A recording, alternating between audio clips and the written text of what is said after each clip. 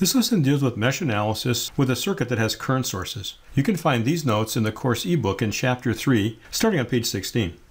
Let's again revisit a problem we did earlier with node equations and see if we can solve it with mesh analysis. In this problem previously, we had two current sources, 3 milliamps and 5 milliamps, and we solved for the node voltages V1 and V2. We'll again use our four-step algorithm, and I'll arbitrarily pick mesh currents. I'll call this I1, I2, and I3. We'll always pick them clockwise, but you can call any one I1, I2, or I3. Just don't change it once you start it. Now in this problem, I can see that I1 is equal to 3 milliamps, and that I3 is equal to 5 milliamps. Although I've got three mesh currents here, I do know two of the three. I only have one unknown. I just have to write one equation to solve for that one unknown. Step two of the algorithm is to apply Kirchhoff's voltage law around each mesh, which doesn't contain a current source. Now the reason for doing this is that the voltage across the current source is another unknown, just like current coming out of a battery. I don't want to go around this mesh or this mesh, I'm going to go around this mesh. Let me assign voltages. Now this has already been called V1 and V2, and I'll call this V3. These are arbitrarily selected. Node voltages are always positive at the node, negative at the ground. Go around the mesh. The rise in voltage is V1, the drop is V3, the drop is V2. Now what is the voltage V1? Well, it's 1K times the current I1 minus I2. Again, I1 agrees with the notation we've picked for V1, which is current in this direction, and this disagrees with it. So we get I1 minus I2 times the resistance of 1K.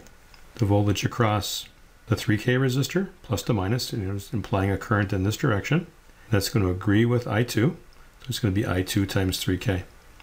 Pick this direction, which implied a current in this direction. That's going to agree with I2, and disagree with I3. So I2 minus I3. But again, we know that I1 is 3 milliamps and I3 is 5 milliamps. So let's multiply this out. So 1K times 3 milliamps is 3 volts. I also have 1K times 5 milliamps on this side, which is 5 volts. I'll put it on your side of the equation. Bring the things that multiply I2 back on the right-hand side. And that's going to be 1K, 3K, and then another 1K. It's 5K. 8 is equal to 5K times I2. One equation, one unknown. Step three is to solve for the mesh currents. We have only one here, and it's just going to be equal to 8 volts divided by 5K, and that's 1.6 milliamps. And lastly, to find the node voltage V1, the current in this direction would be 3 milliamps minus the current I2, which is 1.6 milliamps, times the resistance of 1K is 1.4 volts. The voltage V2 in this direction is going to be I2 minus I3 times 1K. 1.6 milliamps minus 5 milliamps times 1K is 3.4 volts. These are the same results we had on page 6 when we did the node voltage method. In the problems we've been analyzing with mesh and node analysis, which method is better? Well, depending on the problem, it may take less work to solve the problem using node equations versus mesh equations, or vice versa. Sometimes more unknowns doesn't mean more work. So in this last example, we had three mesh currents, but two of them were known. So there's only, only one unknown. We did the same problem with node equations, and we had a 2 by 2 matrix.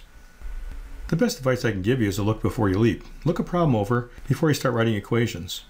To think about how many equations you have to really write to solve for the unknowns that you're interested in. On some test questions and homework problems, you'll be told which method to use, so you need to learn all the methods in the course. Of course, it's always best to do the least amount of work, but no matter which method you pick, you're still going to get the same answer. This is an example of mesh analysis using current sources.